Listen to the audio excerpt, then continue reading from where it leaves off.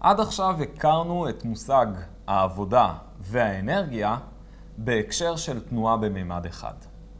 מה קורה כאשר גוף נע ביותר מממד אחד? לצורך הפשטות, כאשר גוף נע בשני ממדים. במצב כזה נוכל להכליל לכאורה בצורה פשוטה את מושג העבודה. עבודה של גוף תהיה שווה לאינטגרל של הכוח דוט dr. כאשר dr מחליף בעצם את dx, הוא dx x כובע ועוד dy y כובע. אם בשלב הזה קצת נכנסתם לדאגה, הסירו אותה. אנחנו לא נשתמש בחישוב הישיר, ונסביר למה. באופן כללי, מסלול דו-ממדי יכול להיות מסלול מורכב. במצב כזה dr משתנה בכל רגע ורגע. יש לנו כאן dr שבכל רגע נראה אחרת. החישוב יכול להיות חישוב מורכב למדי, אבל כל המושגים שקשורים לאנרגיה נשארים נכונים ללא הוכחה, גם כשאנחנו עוברים לתנועה ביותר מממד אחד. ואז במקום לחשב בצורה ישירה עבודה, אנחנו נוכל לעבוד עם חוק שימור האנרגיה או חוק עבודה אנרגיה קינטית. למה אני מתכוון? אנרגיה קינטית שווה לחצי mv בריבוע. זה נכון גם כאשר אנחנו מדברים על גוף שנע ביותר מממד אחד. v הוא הגודל של המהירות. ואם אתם ממש מתעקשים, אז v הוא חצי m vx ועוד vy בריבוע. vx בריבוע ועוד vy בריבוע הוא בעצם v בריבוע. בדרך כלל כאשר אנחנו נפתור תרגילים, המידע שיהיה לנו זה המהירות בנקודה מסוימת, גם אם הגוף ינוע ביותר מממד אחד, כך שישר אנחנו נשתמש בחצי mv בריבוע. משפט עבודה אנרגיה קינטית נכון גם אם אנחנו מדברים על יותר מממד אחד. נזכיר, השינוי באנרגיה קינטית של גוף שווה לעבודה של הכוח השקול, או לסכום העבודות שפועלים על הגוף.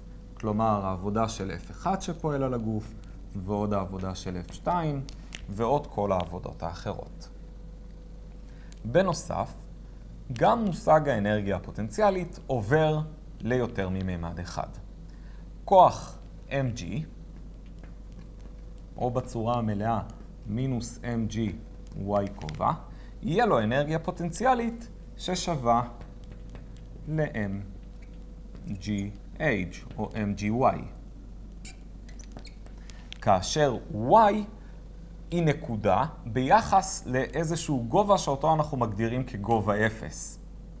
נשים לב, האנרגיה הפוטנציאלית שקשורה לכוח mg לא תלויה במיקום של הגוף על גבי ציר x, אך ורק לגובה שלו, או לגובה בציר y.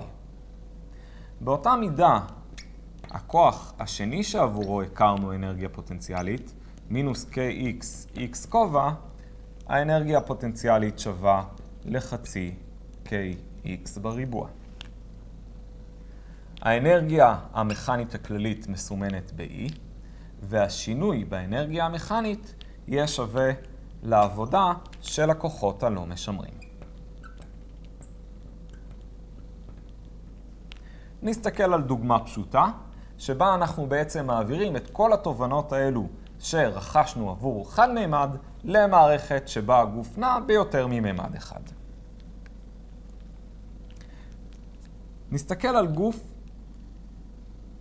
שנע על גבי חצי מעגל.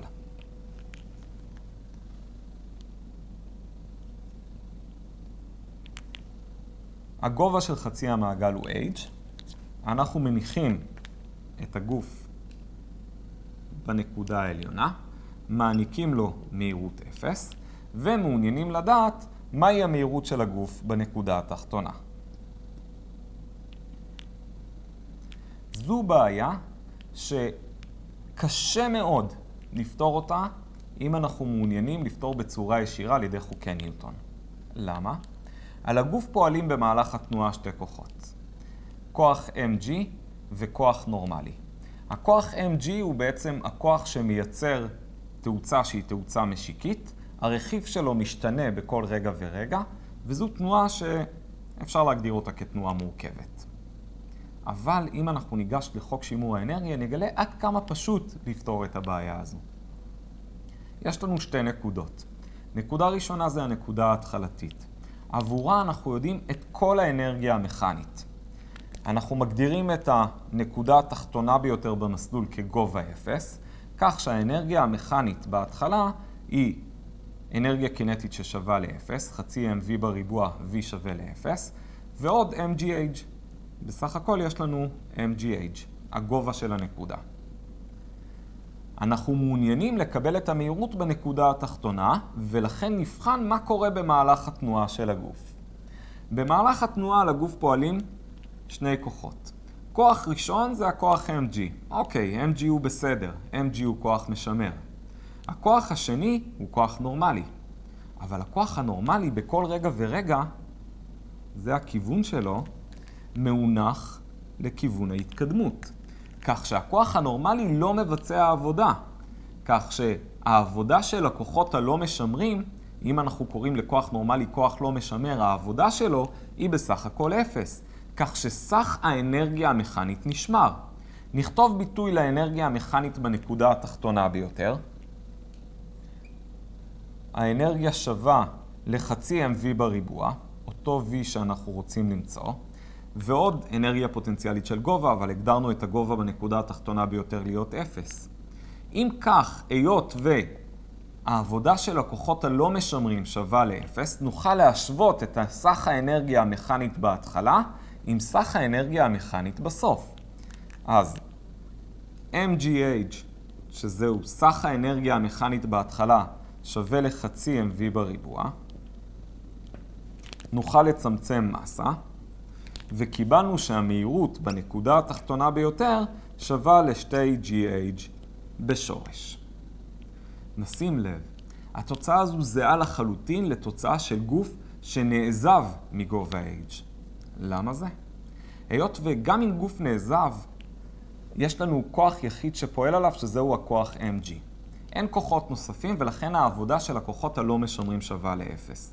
כאשר דיברנו על אנרגיה פוטנציאלית של גובה היא בעצם תלויה אך ורק בגובה, אך ורק בשיעור ה-y. ואנחנו בעצם מבצעים הפרש בין האנרגיה הפוטנציאלית בסוף לאנרגיה הפוטנציאלית בהתחלה.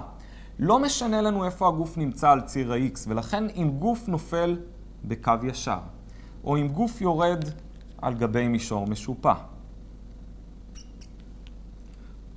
או אם גוף עובר על תנועה שהיא חצי תנועה מעגלית, כל עוד המהירות שלו בהתחלה היא 0, המהירות שלו בנקודה התחתונה ביותר תהיה שווה לשורש של 2GH.